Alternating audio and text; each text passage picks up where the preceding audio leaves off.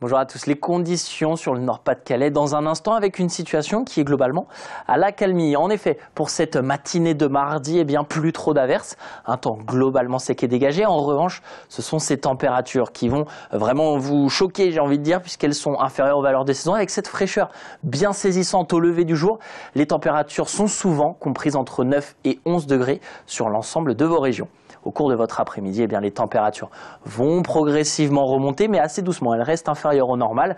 Résultat, une légère sensation de fraîcheur, surtout lorsque les averses vous concernent. C'est vrai qu'elles ont tendance à s'évacuer vers l'est, mais elles sont toujours présentes, notamment entre Arras et Maubeuge, avec quelques averses et 14 à 17 degrés.